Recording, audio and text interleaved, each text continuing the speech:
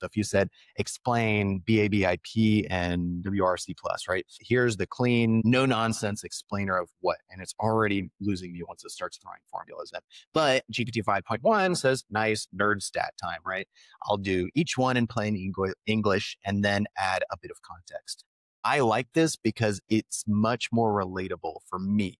I use this every day. I use OpenAI, ChatGPT every single day for understanding something that I don't understand constantly, whether it's medical or it's going to be with, you know, technical things or just everyday business things like, you know, understanding the best strategies for LinkedIn posts or the best strategies for growing your audience online. I want for it to communicate to me like I don't know what it's talking about. And so it sounds like GPT-5 is headed in that direction, which I'm super happy about. And so I want these new models to be coming out, getting smarter, but being able to relate with me because I might not be as smart as it.